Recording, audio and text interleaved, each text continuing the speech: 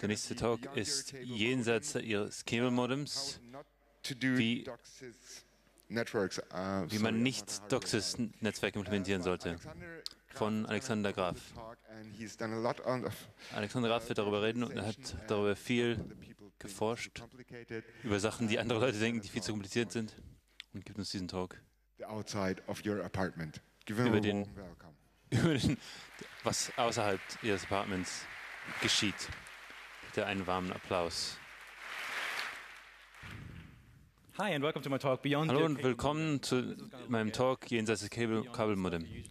Das geht jenseits das, was ihr zu Hause seht, das einmal in das Kabelmodem ein, einpluggen und dann passiert das. Wer bin ich? Ich bin Alexander Raff. Ich bin ein KVM. Normalerweise habe ich nichts mit Kang zu tun. Normalerweise ich, ich mache was mit, mit, mit Device zu tun.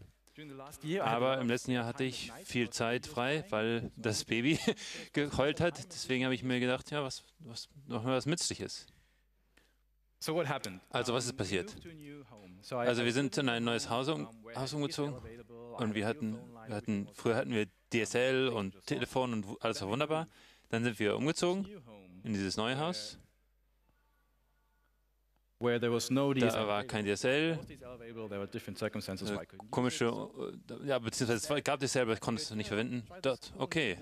Da dachte ich mir, okay, neue Technologie verwenden, einfach mal das Kabel verwenden. Okay, ich habe mir einen Kabelmodem geholt, einen Provider, und registriert und dann hatte ich Internet über Kabel. Wunderbar. Da habe ich mir gedacht, ja. Und da habe ich mir gedacht, einfach das Telefon darüber auch noch dann können Leute mich, mich trotzdem anrufen, wenn sie möchten. Das Problem ist, als ich dann das äh, empfangen habe, habe ich mir, ist mir aufgefallen, hm, irgendwas passt hier nicht. Das ist ein analoges Telefon.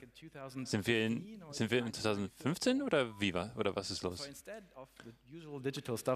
De deshalb, anstatt meines normalen digitalen Stuff, hat, musste ich das analoge Telefon verwenden. Deswegen musste ich eine, no, weitere Box reintun, um das zu kon konvertieren, damit ich, damit ich mein Haus in die andere, eine andere übersetzen kann und dann schließlich mein Telefon verwenden. Sehen Sie das Problem? Der, der, ganze Mist, das ist, sieht, nicht, sieht, sieht, sich, sieht ziemlich dumm aus. Warum würde man auf analog auf digital? Das, das zeigt, dass in den Kabelmodem geht es natürlich digital. Warum zweimal konvertieren? Und dann zurück nach analog konvertieren und dann zurück nach digital, nur damit man den Telefonanruf. Deswegen habe ich sie angerufen und gesagt, hey, kann ich das nicht irgendwie direkt, äh, kann ich einen direkt Zugang haben, damit ich Digital ich meine, digital, durch, durchgängig digital. Ja, ja, im Hintergrund haben wir e, im ESIP, ganz normales, normales VoIP. Ja. Wenn du, wenn, du, wenn du weißt, was du tust, dann tu es, hack's einfach. Kein Problem.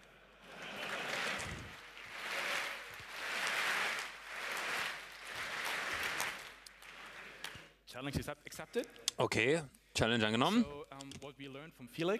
Aber was wir schon von Felix früher gehört haben, in seinem, äh, wenn du dein eigenes System nicht kaputt machen willst, baust ein neues, kaufst einfach ein neues auf Ebay. Super, super billig im Internet kaufen, ja, und dann kannst du dir, kannst du, kannst du mit, mit der Art von Liebe behandeln, die man so einem äh, Device äh, geben kann. Wie man sieht, ist mein, mein Modem ist einfach, hat einfach Linux. Super, passt gut zu mir. Normales ARM-System. Das, das, einzige, das einzige Besondere ist, dass es Big Endian ist. Ja, ich bin ARM gewöhnt. Ja, warum nicht? Schauen wir uns mal an, wie das funktioniert. Ich will einfach nur dieses Voice over IP, dass dieses Voice over IP-Zeug funktioniert. Schauen wir uns das mal an. Wie funktioniert das? Ah, wie, wie man sieht, ist einfach ein normales ZIP. ZIP läuft normalerweise 5060-Port, normaler, normaler ZIP-Client läuft da. Aber dieses, dieser IP ist irgendwie komisch. Meine externe IP ist natürlich anders. Und meine interne IP ist auch anders. Was ist, was ist diese komische IP? Dann habe ich mir mal den IP-Liste angeschaut hm, irgendwas, ist, irgendwas ist komisch. Ich habe jede Menge IPs und jede Menge Verbindungen, die ich, über die ich nichts weiß. Hm. Schauen wir uns das da unten an. Da unten ist meine, meine Telefonlinie und da oben ist was anderes, von dem ich nichts weiß. Hm, habe ich mir gedacht, schauen wir uns das mal genauer an. Und schauen wir mal, was genau da passiert. Wie funktioniert DOCSIS? Das ist, ein, das ist mal der Hintergrund, der High-Level-Hintergrund. Wie funktioniert das Ganze? Also du hast ein Kabelmodem, das mit einem, mit einem Kabel mit einem CMTS verbunden, das ist eine, ein Übersetzungsservice, das dann wieder das, die ganzen DOCSIS-Sachen und verwandelt es in IP und sendet es irgendwas Komisches in IP und schickt es dann irgendwo hin. Aber es gibt ja nicht nur eine Linie, sondern drei. Eine fürs Internet, logisch, kennst du ja. Die, die, willst du, die willst du haben. Wenn du dich da einstöpselst, dann siehst du die. Dann gibt's, kriegst du noch eine zweite Linie für Voice over IP. Und drittens eine weitere Linie, die ich mal Admin-Linie nenne. Hm, schauen wir jetzt mal diese Admin-Line mal. Das hört sich am interessantesten an. Stimmt, oder? Was tut die Admin-Line? Hm, ja. Uh, Tja, schließlich am Ende ist das Modem nur ein Client. Das heißt, das Erste, was, was macht, wenn es online kommt, macht es DHCP. Und dann macht es nach dem DHCP, holt es sich eine AP-Adresse und holt sich alles, was sie braucht. Und dann, ja klar, logisch, normales DHCP-Anfrage. Und dann macht das ähnliches wie Pixie-Booting. Normalerweise würdest du ein Executable bekommen, aber hier kriegst du was anderes. Und zwar kriegst du ein File, das, das du runterladen musst mit TFTP, so ähnlich wie per Pixie. Aber in diesem Fall ist es eine Config-File. Ah, wie man sieht, Config-File. Das äh, ja, empfängst du halt einfach mit Pixie in einem Killmodel und dann ist das Killmodel konfiguriert. Was ist in diesem komischen Provisioning-File? Das, das sowieso wird das genannt. Hm, ja, zum Beispiel, wie, was ist die, der Name der Firmware, wenn du die Firmware updaten möchtest, oder wenn der, der Firmware Provider gerne hätte, dass du die Firmware updatest. Wie viel Bandbreite habe ich? Ähm, ich habe gehört, dass die Leute damit rumspielen vielleicht. Uh, Tja, weil das eine normale TFTP-Anfrage ist, konnte man das selber auch tun. Hier habe ich meine Config-File abgeholt. Ja, hier. Hier ist es. Aber das Interessante ist, als ich damit angefangen habe, war, tja, es ist meine Config-File. Wie, wie ist es mit den Config-Filen von anderen Leuten? Kann ich die holen? Ja, wenn ich, ich kann denen die MAC-Adresse abholen und ja, da habe ich die, das Config-File von den anderen Leuten. Ja, ja, super, super einfach. So soll es, so soll es funktionieren.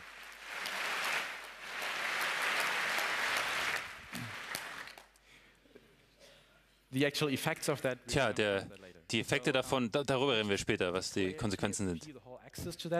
Also, wir, wir sagen einfach mal, dass das FTFTP etwas unsicher ist. Na, wenn du ein Provider bist und möchtest, würdest du gerne wissen, was die Leute so tun. Stell dir vor, du bist der Admin und du bist einer der Guten und willst wissen, okay, was tun die Leute mit ihrem Modem? Äh, dann laden sie zu, zu much Zeug das kannst du natürlich nicht filtern, äh, ja, oder irgendwie so. was tust du? Tja, dann, dann, dann machst du einfach, was der Industriestandard ist. Und du schickst eine SMP-Anfrage mit einem Passwort, das nur du kennst. yep. ja klar, schickst über zum Cable Modem und das Cable Modem und antwortet mit einer Anf Anf Antwort, ja, ja, ich bin, ja, ich bin der folgende, hier folgende Information, bitte sehr. Oh, das war ein bisschen zu schnell. Aber wie, uh, wie, wie, kann, wie verifiziert das Modem das Passwort? Genau, es verwendet das Config-File. Tja, wenn du das erst Provisioning-File erstmal hast, Config-File erstmal hast, von einem x-beliebigen Modem runtergeladen hast, dann äh, hast du ein interessantes Passwort. Ja, okay. Tja, aber sie haben eines, mindestens eine Sache gemacht, und zwar die, den Adressraum limitiert, wie man sieht. Ja. Ja.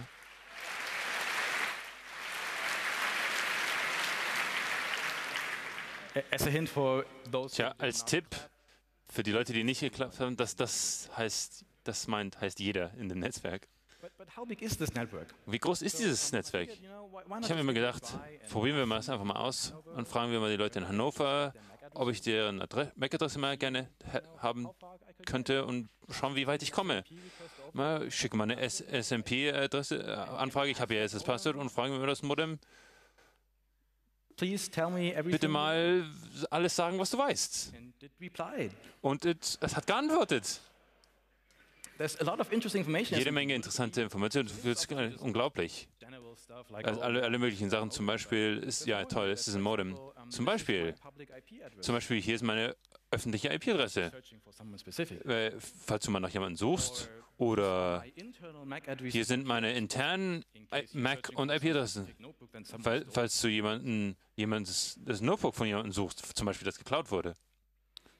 Oder hier ist mein Provisioning-File für den Fall, dass du mal alle, alle, alle Maschinen geport gesendet hast und, und die mal fragst, was wo denn, wie wohl deren Provisioning-File ist. Tja, natürlich habe ich das nie getan, klar.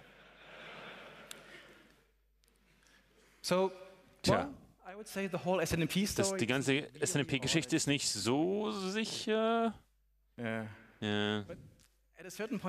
Aber irgendwann, wenn das Modem nicht funktioniert, wenn du meinst, oder wenn irgendwas kaputt ist, oder wenn du eine administrative Tags machst, der, der, hätte, der gerne, hätte der Admin gerne mehr Zugriff, nicht irgendwie sowas was limitiertes wie SNP. Er möchte, möchte mehr Hardcore-Access, zum Beispiel wirklich eine Shell verwenden.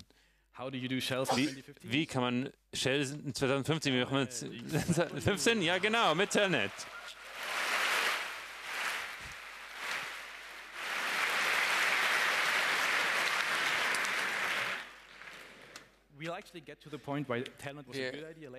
Wir kommen später noch dazu, warum Telnet hier eine gute Idee war. Aber 30 slides down or so. Noch, das sind noch 30 Slides oder so. Well, we already managed to get an SNMP connection. Okay, wir haben also schon eine SNMP-Verbindung zu einem anderen Modem hingekriegt. Wir lassen uns einfach das gleiche mit Telnet versuchen und mal sehen, wie weit wir kommen. Uh, okay, wir Telnet rein und das sagt hier, gib mir ein Login. Hmm. Now, where, where do I get this login from? Hm, woher nehme ich diesen Login? Well, hm. turns out the administrator needs to provide that password just the same. Der Administrator muss das Passwort irgendwie an das Modem geben. Das Modem muss ihn irgendwie prüfen, basierend auf seiner Konfiguration, die es aus seiner Provisionierungsdatei bekommt und nun. Ich glaube, ihr seht, wo das hinkommt. Also aus der gleichen Datei, die ihr für alle uh, User aus dem Netzwerk runterladen könnt, also habt ihr auch den Nutzernamen und das Passwort. Als Plaintext. Uh, das ist das, was mich die meiste Zeit gekostet hat. Ich habe Wochen damit zugebracht, herauszufinden, was das für ein Hash ist.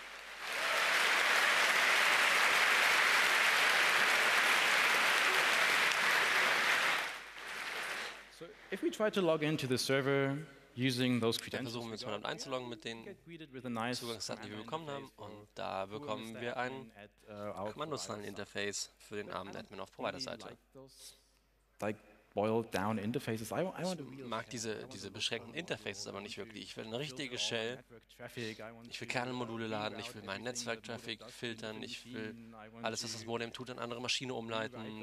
Ich möchte den Voice-over-IP-Client umschreiben, um andere. Äh, ja, ja, also. Ich möchte was Richtiges tun. Also, ich gebe das Hilfekommando ein und das sagt mir, es gibt ein Kommando namens Shell. Gute Shell. Und naja, da ist die Shell. Und an diesem Punkt kann ich eigentlich machen, was immer ich will. Ich habe vollen Root-Zugang. Und äh, alles, was darauf läuft. Also da laufen viele verschiedene Arten von Software drauf. Da ist ein Webserver dabei, da ist ein äh, FTP-Server. Und jetzt kann ich also alles machen. Ich kann den Traffic umleiten. Ich kann, also ich tue es nicht, aber das ist das, wo ich noch halben Jahr stand. eine andere Sache ist, das ist äh, offenbar sehr anstrengend, verschiedene Passworte für verschiedene Devices, äh, für verschiedene Geräte zu generieren. Also nehmen wir halt eins für alle, das ist gut genug. So you don't even have to read your other person's file, your other person's configuration file, the provisioning file. You can just Ihr müsst also nicht mal anderer Leute ähm, Provisionierungsdatei anschauen. Ihr könnt einfach eures benutzen. the only notable exception that I found to this whole scheme, so uh, you manage, I mean, you could basically go and log into any modem out there, also, ihr könnt euch in jedes beliebige Modem da draußen einloggen, außer Fritzboxen. Congratulations to that one. Kudos. Ja. Gratuliere, gut gemacht. Also AVM sind offenbar die einzigen, die dem standard Standardschema von des Providers nicht gefolgt sind. Sie haben gesagt, nee, nee, nee, nee, ihr macht nicht die Firmware, wir machen die Firmware. Und da machen sie einfach nur ungern Telnet auf. Offenbar sind da Leute in deren Firma, die eine Ahnung haben, was sie tun. Okay, Also, ich würde sagen, dieser ganze Telnet-Zugang ist jetzt auch nicht so mm, ganz sicher. But we didn't really come here for the Okay. admin network. Aber Wir wollten around eigentlich gar nicht mit dem Admin-Netzwerk yeah, rumspielen. Es war halt einfach da und wir haben es angeschaut und naja, wir wollten was auf IP machen, ne? Yeah, so how Ja, so, IP wie funktioniert Voice over IP? It's kind of similar. It also Es ist recht ähnlich, es macht auch einen DHCP-Request am Anfang, es ist normalerweise kein Problem. Deshalb habe ich es hier mit so einem grünen Häkchen markiert. I- I'll leave it to others to further dig down into Äh. Ich, lasse Um, das, ich überlasse das anderen da. Weiter zu forschen. TFTP macht das gleiche Ding mit TFTP, also wenn ich uh, einfach Nicht from mein your Provisioning-Datei von, modem von meinem eigenen Modem runterlade, aus dem Admin-Netzwerk, sondern einfach aus dem, aus dem Voice-over-IP-Netzwerk. Dann äh, sind da alle Daten drin. Nicely enough, uh, all those cable providers uh, registered consecutive MAC addresses. So if you haben all diese äh, also other. Kabelprovider aufsteigende MAC-Adressen verwendet. Wenn ihr also eine habt, habt ihr auch alle anderen. Das ist It's äh, praktisch. Fragt also einfach einen, einen Freund, kannst du bitte deine MAC-Adresse sagen und schreibt alles, was man Um, braucht. SNMP is the same thing. You can access it using SNMP, gleiche Sache. Man kann über SNMP ran. Das Schöne hierbei ist, dass die Box euch auch sagt, äh, welche anderen Zugänge es hat. Wenn ihr also nur eine IP-Adresse habt, Außerdem gibt es noch einen internen DNS, den einfach fragen könnt, hey, was ist die MAC-Adresse von dieser IP? Dann schickt ihr ein SNMP und äh, in SNMP, the IP address fragt nach äh, IP-Adressen des anderen Netzwerks und dann könnt ihr über das Admin-Netzwerk darauf zugreifen. Das wirklich interessante Teil ist aber natürlich SIP. Wir machen hier Voice over IP. Ne? Darum geht es ja hier. Und over way IP funktioniert so, dass das. Modem möchte einen Phone-Call machen, äh, einen Telefonanruf machen. Wie macht man einen Telefonanruf mit SIP? Naja, man muss sich like anmelden, man um, braucht Zugangsdaten. Das Modem muss dem Server sagen, hey, obviously melde mich- mich gerne anmelden. und das steht natürlich in der Provisionierungsdatei. Man nimmt die also, sagt dem Server, hey, ich möchte einen Now, Anruf tätigen. und dann machst du den Anruf. Und wenn wir in die Datei schauen, dann sehen wir hier, es enthält ein paar Server und den Nutzernamen und die Telefonnummer und quasi alles, was man brauchen würde, um sich in einen SAP-Server anzumelden. Weil ich jetzt aber alle anderen Provisionierungsdateien lesen kann. Hm, So, imagine I'm this user. okay, jetzt stellt euch vor, ich bin dieser Nutzer da oben I'm- just doing a normal call und ich mache einfach einen normalen Anruf als diese Telefonnummer da oben. Maybe there's this other guy on the network Vielleicht ist dann noch dieser andere Typ in diesem Netzwerk, der einfach deine Provisionierungsdatei runterlädt und need, alle Zugangsdaten bekommt, die ihr braucht, also die gleiche Telefonnummer. Und dann kann er halt einfach einen Anruf machen. Yeah, I- maybe I should have registered a few Ja. 0900 numbers. Vielleicht hätte ich mir ein paar 0900er Nummern registrieren sollen. Now the really interesting part there is what Der wirklich interessante Teil ist, es geht auch andersrum. Wenn man uh, sich dafür anmeldet und du bist schneller als der andere, dann bekommt das andere Modem halt keine Anrufe. Das heißt, du bekommst die Anrufe und dann kannst du dem anderen Modem einfach sagen, hey, da war ein Anruf. Nur, dass du jetzt den ganzen Verkehr durch dein eigenes Modem umleitest und deshalb all diesen Gesprächen, all diese Gespräche mithören kannst. Uh, Ja. Naja, Not sure it would be a good idea to talk to your lawyer about. Vielleicht keine gute Idee, darüber irgendwelche sicherheitskritischen Sachen zu besprechen. I wouldn't mark SIP as secure. on Ich würde SIP also jetzt hier nicht unbedingt als sicher markieren. But at this point, so so on the on the Telnet access and on all Okay, so diese anderen Teile, naja gut. ich kann es für mich selber beheben. Ich bin, ich bin Egoist genug. der, der Rest der Menschheit ist mir do, egal. Also. Nein, es ist mir nicht egal, aber ich kann es wenigstens, ich könnte so tun. Also ich kann für alle anderen ignorieren, ich kann es für mich selbst beheben, aber für Voice over IP kann ich es nicht. Denn da bin ich gar nicht, gar nicht drin. Dieser, irgendwer anders könnte meine Zugangsdaten stehlen und sich einloggen. Und es gibt nichts, was ich da tun kann. An dem Punkt war ich dann ein bisschen äh, besorgt, dass mich jemand hacken könnte. Also habe ich mir darüber nachgedacht, wie man dieses Ding äh, beheben könnte. Das erste ist natürlich, okay, du als User hebst das Telefon ab und rufst den Techniker an, den Kundensupport deines Providers. Yeah, I don't ja, nee, ich glaube, es ist keine so gute Idee. Nee, nee, nee, nee, nee, ich, äh, nee. So instead, I figured I'm, I'm to call someone else. I'm to call. Also dachte ich, dann rufe ich jemand anders an. Ich habe ein paar Freunde angerufen.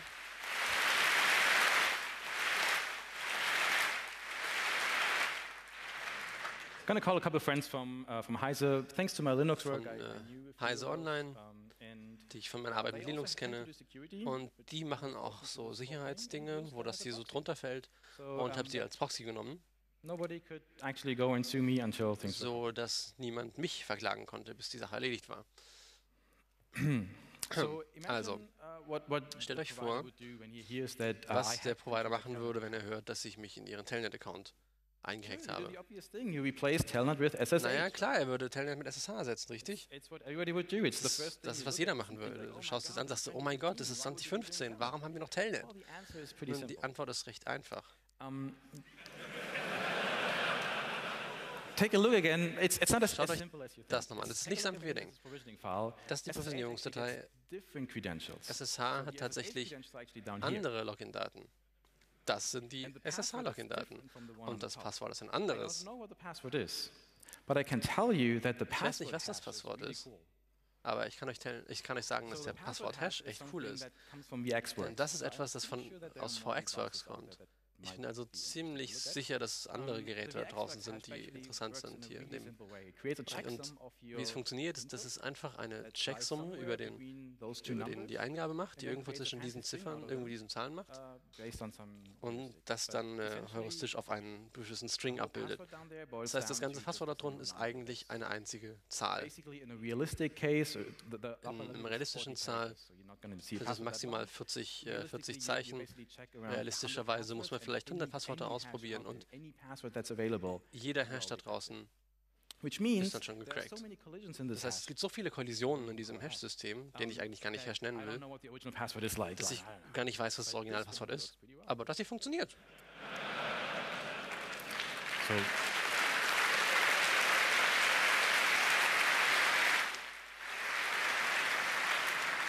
So we go ahead and we log Also, into this ich logge mich ein our Maschine und ich gebe mein Kollisionspasswort ein und naja, hey, hier, das gleiche Ding wie vorher. So we told them again, guys, look, it's not Sag as denen, ja, pass as auf, es ist vielleicht nicht ganz so leicht, vielleicht solltet ihr ein bisschen tief durchatmen und überlegen, wieso die Dinge eigentlich kaputt sind.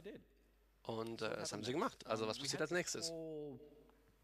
Huge mess with lots of services that Wir hatten dieses Riesenchaos mit all diesen Diensten, die irgendwie verfügbar sind und angreifbar sind und komplett kaputt. That was two months ago. Das war vor zwei Monaten.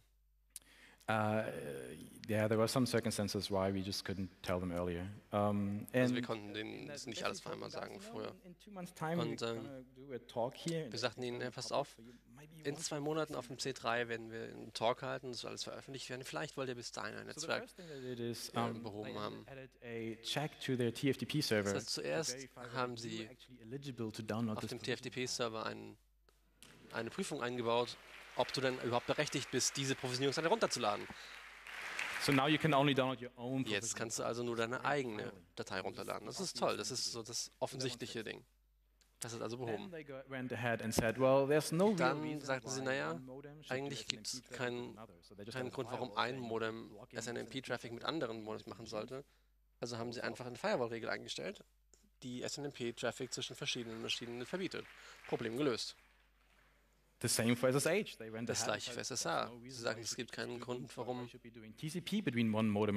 irgendein Modem mit einem anderen Modem TCP sprechen sollte. Zack, Problem gelöst. And Und the uh, the Voice over IP access weil der file, which you can now auch an die Provisionierungsdatei gebunden ist, die man jetzt nicht wieder, runter, nicht wieder runterladen kann, So ist das auch gelöst. go ahead, go Toll. ahead. It's awesome. Cool, ihr könnt jetzt klatschen. Das ist, das ist toll. Thank you, ISP. So after two months, I actually managed Danke, to ISPs. limit me into the borders that I was supposed to be in at the beginning. It's cool. Also, jetzt bin ich wieder da, wo ich am Anfang sein, hätte sein sollen. Please guard your networks, Also, schützt eure Netzwerke, auch wenn ihr glaubt, dass niemand da reinkommen könnte. Sie würden es vielleicht trotzdem. As soon as a customer can sobald Ein, Kunde euer Gerät physisch zugreifen kann, was mit einem Modem normalerweise der Fall ist, depart in your apartment, uh, that guy Naja, can access your, your network. dann kommt er auch ans. Netzwerk. Es gibt keine Möglichkeit, das zu verhindern. Also glaubt nicht, dass das Zuhause des Kunden die Grenze auch Netzwerks ist. The Grenze ist bei dem. Kabel, wo es in das, in das Zuhause geht. Und gleichzeitig heißt es auch, wenn ihr irgendwelche Geräte von euren Providern bekommt, dann vertraut ihnen nicht, denn sie können dann alles machen. In uh, diesem Fall access 3 million devices. War ich laut, meines Provi laut Aussagen meines Providers in der Lage, drei Millionen Geräte zuzugreifen. Das ist äh, schon eine recht hohe Zahl. Also, the press is your friend. Und außerdem, die Presse ist euer Freund. Wenn ihr euch äh, sorgt, irgendetwas zu veröffentlichen, dann äh, sprecht jemand an, der es für euch machen kann. Normalerweise klappt das ganz gut. Hoffen wir auf das Beste. And then this whole thing went online uh, Das. Ding ging Anfang dieser Woche online Uh, there were a couple of questions. und es gab ein paar I Fragen auf den, auf to those. ähm, die ich gelesen habe und ich wollte das nur kurz beantworten. Das erste ist, was immer kommt, ist, ist eine Verschwörung. Es ist die NSA-Hintertür. Nein. I mean, seriously, those guys Also, nein, die sind nicht so doof. Die haben, die haben Vordertüren, die brauchen keine Hintertüren.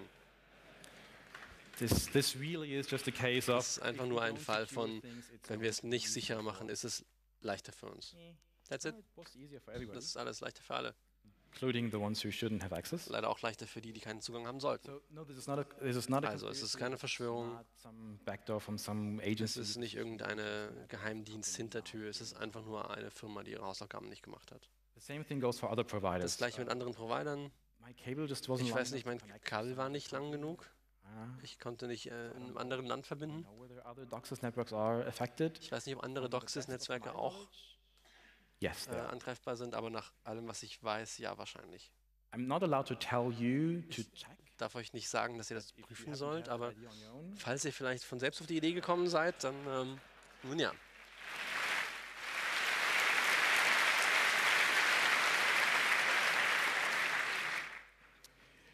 No animals were hurt during the production of wurden keine Tiere bei der Produktion dieses, dieses Slides verletzt.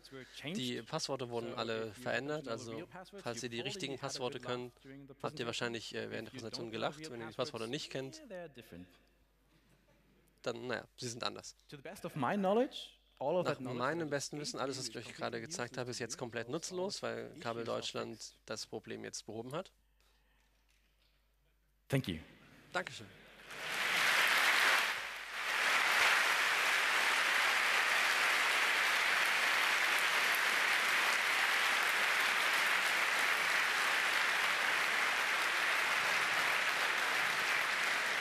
now we can go for questions. Uh, if you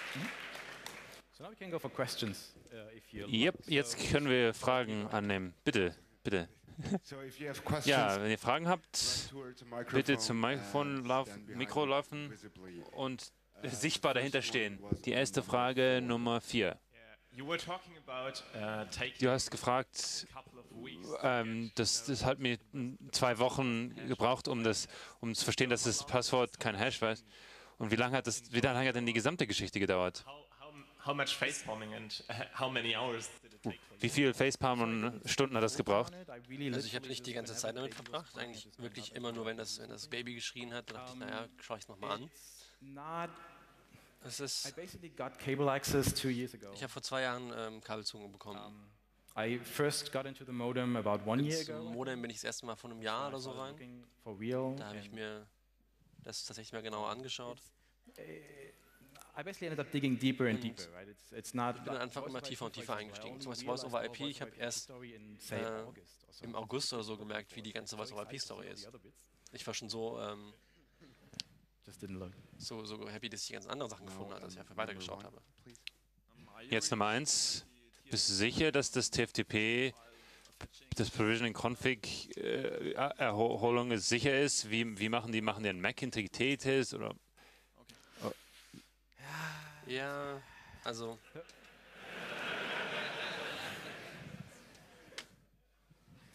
The problem is the law, das Problem ist das Gesetz. Ich, you ich darf to euch try it nicht sagen, dass ihr you es selbst ausprobieren that sollt. Ich darf I don't euch nicht that sagen, dass on ich the nicht physical glaube, dass irgendwas auf der physischen Ebene unsicher ist. Ich darf nicht sagen, äh, dass, äh, also es gibt so viele Dinge, die ich über das Netzwerk nicht sagen darf. Ich habe es nicht versucht. Uh, Ich bin einfach nur rein und sagte, hier TFTP. Fetch und wollte guckte, ob ich es ob ich's kriegen kann.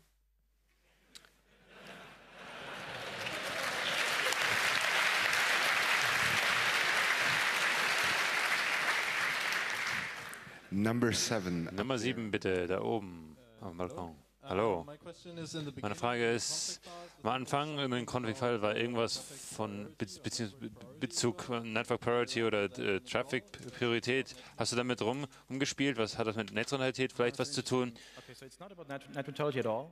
It's about uh. Also es geht nicht um Netzneutralität, es geht um Quality of Service für verschiedene Dienste.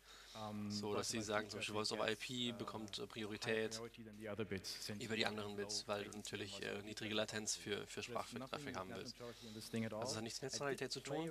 Ich habe mit den Settings rumgespielt, um, just because uh, einfach weil coincidentally right the day after the ähm, am, am Tag nach dem Fahrplan-Release mein forwarded to 80 kilobits. Account auf 80 Kilobit gedrosselt wurde. could Weiß nicht warum, könnte But, was miteinander zu tun haben, könnte aber auch nicht. figured I'm paying for 100 Aber ich dachte, naja, I ich zahle für 100 Megabit, also sollte ich 100 Megabit kriegen und habe mir diese Dinge mal I angeschaut. Ich konnte on mein Modem nicht, hat nicht wirklich überzeugen. Hast äh, du die Ich habe die Bandbreite geändert, aber guess is they also ich vermute, dass sie auch auf der anderen Seite You want to Quality of? Service nutzen. Aber wenn du es selber äh, prüfen willst, dann sage ich dir nicht, dass du es nicht tun sollst. Number two. Nummer zwei bitte? Ja, erstmal vielen Dank für diese schönen Einsichten. Ich bin sehr, sehr interessiert daran. Ich will nochmal ein, ein Statement über das Provisioning, für das Config-File sagen. Du sollst die, hättest ihnen sagen, dass das Provisioning-File ho- abholen ist überhaupt, überhaupt eine schlechte Idee. Weil ich persönlich glaube, wenn die das, äh, wenn die das nicht über einen komplett anders kom Seitenkanal schicken, ist das absolut nicht sicher. Die können es nicht anders machen, weil es Teil des Standards ist. Es gibt einen DOCSIS-Standard, den alle Modems folgen müssen, das ist Teil des Standards. cannot do it differently. Sie If können you es want nicht anders machen. Wenn du es differently, anders tun willst, dann musst du dem äh, committee, DOCSIS Standard which Community is sagen und das sitzt in Indien. Yes, so talk to them. Thanks. Ja, jetzt mit denen reden. Now we'll have a question from the internet. Und jetzt meine Frage aus dem Internet. Könnten zwei Modems äh, dazu programmiert werden, um direkt mit, miteinander zu reden, um die ohne die Pa- Firewall zu verwalten? Könnten zwei Modems dazu programmiert haben, dass sie direkt miteinander reden, ohne mit der, durch die Firewalls zu gehen? Also mit dem alten Schema, ja, könnte man the einfach direkt durchrouten. Mit dem neuen Schema ähm, Not with the official modems. nicht mit den offiziellen Modems.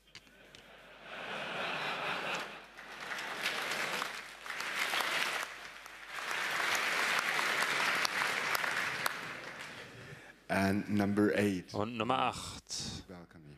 von der Did you Balcony, uh, Balkon. TR69? Hast du alle, möglich- alle Spuren von TH69 gefunden auf diesem Teil? Ja, auf den AVM-Boxen, die sicher waren. So that was the only bit Also that das war das ended up making a lot of sense. Einzige, TR69 was äh, sicher, was äh, Sinn gemacht hat. basically have, TR69 ist ein uh, ziemlich guter Standard. Man hat äh, HTTPS-Verkehr, es ist authentifiziert, die, den, den Server Nice, Server zu uh, schicken. Also es ist eine total gute Methode, solche Systeme zu provisionieren. So, Ist auf jeden on Fall unterschiedlich wie äh, modems, alle anderen Wege. Auf den a new DOCSIS-Modems, um ihnen zu sagen, dass sie eine neue Firmware brauchen, ist äh, ihnen zu sagen, dass sie rebooten sollen, dass sie eine neue Provisionsfile bekommen oder einfach direkt in SNMP reinpoken, um dort zu sagen, geh auf diesen TFTP-Server mit dieser Dateinamen und flash ihn auf deinen Flash. Und nein, ich habe nicht versucht, diese, ähm, diese privilegierten IPs zu spoofen. Now it's number four again. Und jetzt ist Nummer 4 da dran. Um, Meine Frage ist,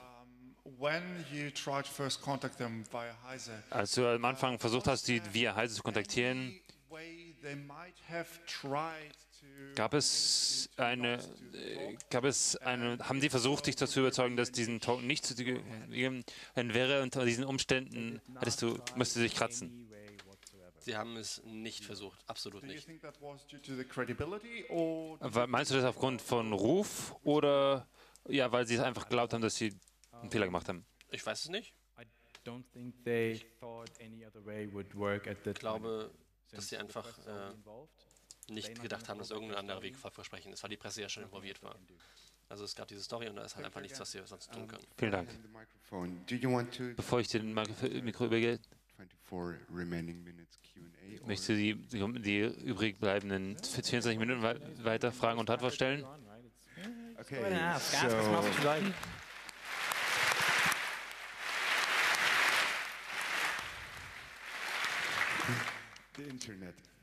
Das Internet bitte. Wie viel davon wäre möglich, möglich wenn das, das Modem in Bridge Mode gewesen wäre? Mein Modem war im Bridge Modus. Nummer 6.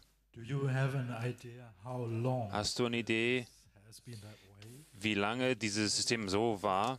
Und hast du einen besonderen Grund zu glauben, welcher Teil von wer vielleicht diese Probleme ausgenutzt haben könnte. Ich äh, weiß nicht. Ich habe niemand anderes da gesehen, aber es ist echt schwer, irgendjemand Besonderes Bestimmtes zu finden in einem mehr als drei Millionen Geräten. Ich äh, weiß von niemandem, der das ausnutzt.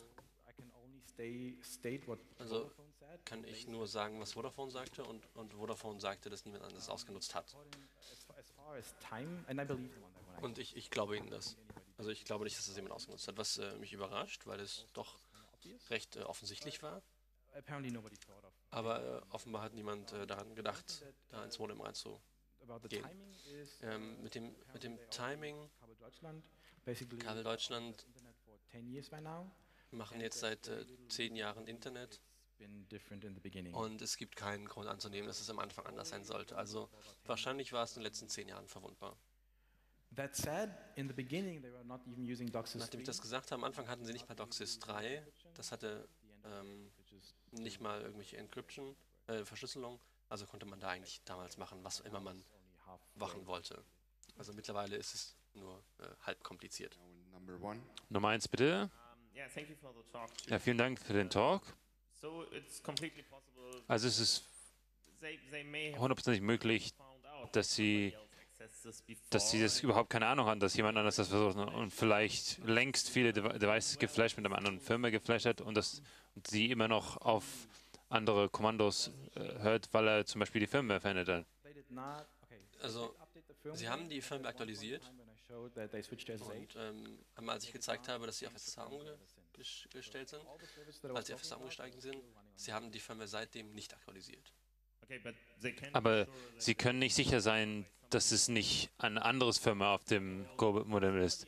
Was zum Beispiel, wenn jemand anders zum Beispiel ein Botnet hätte machen ne, vor, vor fünf Jahren zum Beispiel oder vor zehn Jahren und jetzt bereits gewisse von, ein paar von diesen Geräten kontrolliert und Sie können sich sicher sein, dass da keine komische andere Firma läuft. Sie wissen nicht, ob es von einer dritten Partei. Äh, ja, klar. Also man muss natürlich alle Informationen, die das Modem äh, schickt, irgendwie äh, äh, fälschen, sonst kommt man halt in, äh, in den Security-Block, in dem ich drin bin. Ähm, aber klar, du kannst die Firmware ändern und einfach äh, versuchen, das möglichst gut zu emulieren und alle anderen Updates ignorieren und hoffen, dass niemand es rausfindet. Es ist absolut möglich. Ich halte es für nicht sehr wahrscheinlich, aber es ist absolut möglich. Um, usually there are no second questions. Okay, bitte keine weiterführenden Fragen. Wir haben jede Menge Zeit, aber bitte bitte auf eine Frage beschränken. Jetzt Nummer zwei, bitte.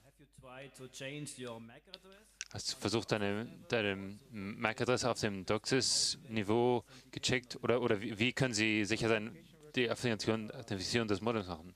Die Authentifikation äh, erfolgt über Zertifikate. Ich bin nicht ganz sicher, habe den Standard auf dem Teil nicht gelesen, ob die MAC-Adresse Teil dieses Zertifikates ist. Das weiß ich nicht. Wenn nicht, dann kann man es natürlich einfach ändern. Ich habe es aber nicht versucht. But then again, the, the modems are what, 8 Euros? Aber dann, naja, die Modems kosten irgendwie 8 Euro oder so. Number seven. Nummer 7. What other, what other, what other recommendations do you have if someone were to Was für andere Vorschläge hättest du, wenn jemand ein, eine Idee hat, was für, was für eine Schwachstelle es geben könnte für die Forschung und für die Veröffentlichung? Naja, ich kann dazu nichts, äh, keine rechtlichen Hinweise geben. Ähm, ich kann nur dazu raten, jemanden zu involvieren, der das vorher schon mal gemacht hat. Denn die haben all diese Painpoints schon gesehen. Die, die Presse ist gerade noch besser, weil die einen richtig großen Hebel haben. Niemand will in der Presse sein für äh, Wochen und Monate auf, mit schlechten Schlagzeilen, dass äh, jemand ihnen versucht hat zu helfen, ihr Netz sicherer zu machen und sie ihn verklagt haben.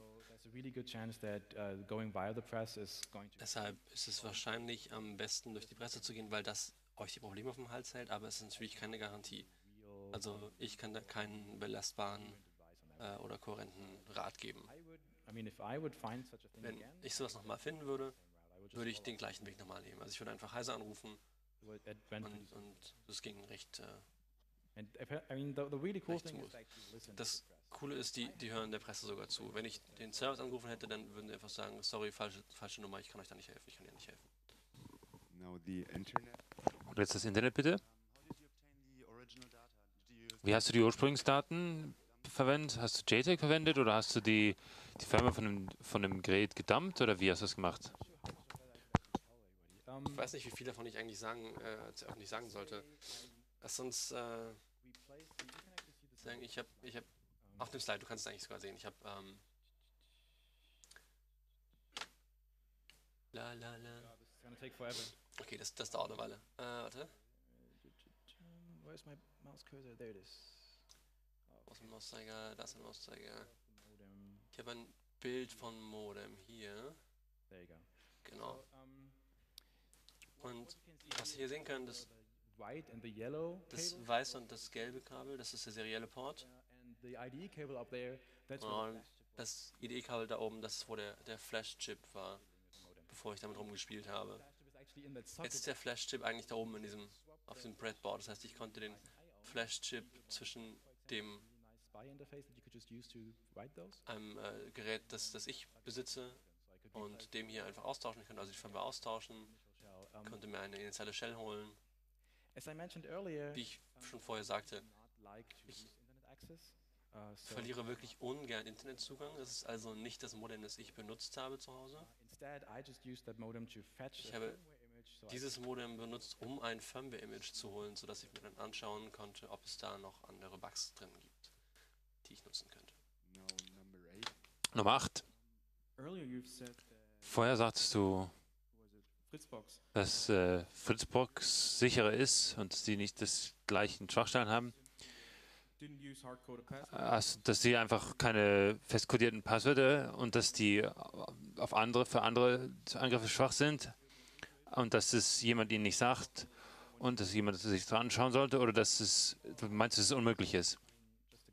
just allem, was ich gesehen habe, und das ist jetzt nur ein Bauchgefühl, nachdem ich die Firmware angeschaut habe, normalerweise funktioniert Linux-basierte Firmware dort so, TI, das ist maybe ESP, then TI baut einen äh, Baseband-Signal-Prozessor, die geht es an Motorola, Motorola geht es an CBN, CBN gibt es dann weiter an, to Kabel Deutschland. an Kabel Deutschland und jeder, jeder dieser Teile, dieser, dieser Ebenen baut ein paar Teile dazu. Das ist der, der normale Weg, wie es solche Geräte gibt.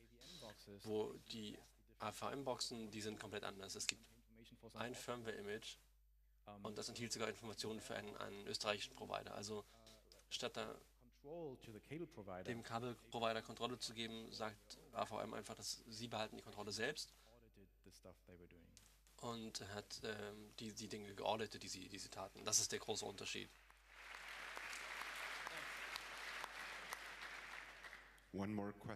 Noch eine Frage aus dem Internet, bitte. Weißt du, ob sie immer noch un unverschlüsseltes SIP verwenden? Ja.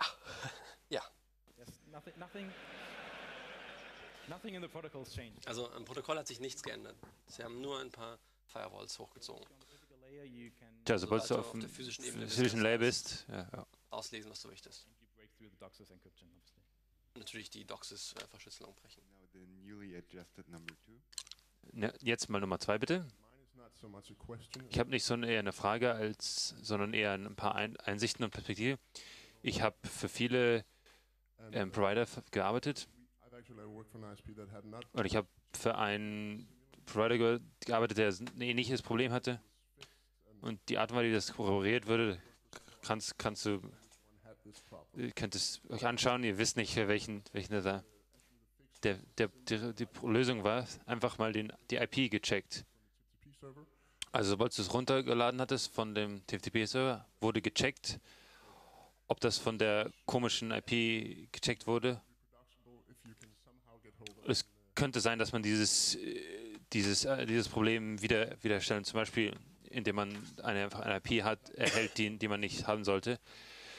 Dazu wollte ich noch sagen, ich wollte zu, zu, über SIP sagen, du hast gesagt, dass es möglich wäre, versteckterweise irgendwelche Unterhaltungen zu unter, äh, abzuhören, weil viele SIP-Server da, dafür konf- konfiguriert werden können und, und viele Endpoints haben. Also wenn der, der, der Räuber dann äh, äh, äh, seconds, then yeah, there's nothing you can do about it. It just rings again. That's that's the point about it. The other bit that you have on the, Ja. on the SIP server, also das, was ich über den SIP-Server würde ich sagen, server diese be- bestimmte Server äh, hat nur einen, äh, einen Endpunkt erlaubt, soweit ich weiß. Ähm, Number three, please. Nummer drei bitte. Um, yeah, um, I attended this talk today. Ja, ich bin mit in den Talk gegangen, at the beginning, when weil ich weiß, am Anfang von DOCSIS, uh, weil ich weiß, wusste, dass die am, äh, früher die, die Modems äh, DOCSIS-File über den Ethernet-Port gebeten haben, was super ist. Meine Frage ist, gibt es, eine, gibt es im DOCSIS-Standard eine Art und Weise, dass der Provider die Hardware verifizieren kann? Also ich habe gesehen, dass es da irgendwie den Typus und die SNP-Informationen, aber es kann man natürlich spoofen. firmware binaries don't run on Klar, Firmware-Binaries laufen nicht auf der falschen Hardware. I'm, I'm not quite sure I'm getting what you're. Ich bin nicht sicher, ob ich, ob ich die Frage Ich- verstehe. Naja, ich wollte wissen, äh, kann der Provider irgendwie verifizieren, was für, was für eine Hardware da läuft? I come from a virtualization background. Also ich komme aus einem Visualisierungshintergrund und in meiner Welt gibt es sowas nicht. Also, you can somehow abstract Wenn du es irgendwie abstrahieren kannst, dann kannst du abstrahieren. Punkt, das ist es. Eight. Acht, bitte. Um, I wanted to add on the part with the Mac Ich wollte was noch zum Max-Prüfing sagen, weil ich mal so ein Modem hatte, vor, vor, vor fünf Jahren. Ich bin nie ins Modem eingestiegen, aber ich hatte ein paar Anwendungen, wo ich eine schnell neue IP-Adresse brauchte. Und ich weiß noch, the thing if you you told ich, ich weiß noch, ich konnte dem Modem sagen, deine MAC-Adresse sagen, äh, unterschiedliche MAC-Adresse sagen, konnte, kriegte man eine andere öffentliche IP-Adresse äh, vor früher. Ich weiß jetzt nicht, ob es inzwischen anders ist, was vor fünf Jahren war, aber ja, nach dem, was ich gehört habe, bin ich mir nicht sicher, ob es sich verändert hat. Also ich, ich bin ziemlich sicher, dass es immer noch so ist. Ich habe das selber nie gemacht, aber ich habe es von Leuten gehört, die das gemacht haben. Und ähm, die MAC-Adresse und der Zertifikatsprüfung sind äh, recht, recht simpel. Also wenn ihr ein, ein gültiges Zertifikat habt von irgendjemand, der vielleicht für den, für den Dienst bezahlt und dieses Zertifikat bekommt und ihr seid nicht auf dem gleichen CMTS wie der, dann äh, könnt ihr trotzdem sagen, äh, hallo, ich bin, ich bin der, obwohl ihr eine verschiedene MAC-Adresse habt. Das bedeutet, auch wenn ihr die MAC-Adresse ändert, könnt ihr jemand anders sein. Das heißt auch, dass ihr vielleicht andere Leute Provisionierungsdatei bekommen könnt, immer noch. Nun, ja. Ich will es nicht probieren. Nummer zwei. Ja. Ja, du hast mit, mit einem, bei einem bestimmten Provider gedacht. Ich weiß, dass es noch einen zweiten Provider gibt, der, der die gleiche Technologie verwendet. Waren die auch in diese, in diese, in diese Gespräche involviert? Also hat Gabel Deutschland zwei, zwei Monate gebraucht? Nein, aber sie sollten sich besser beeilen. Und, und ganz ehrlich, ich glaube nicht, dass das auf Deutschland beschränkt ist. Absolut nicht. Ja. Wir werden sehen, wer schneller ist. Es sieht aus, als das Ende der Fragen ist. Vielleicht das Internet? Nee, keine. Internet hat keine Fragen mehr. Acht leere Mikros. Ja, dann vielen Dank für den Talk. Vielen Dank für die schönen Einsichten.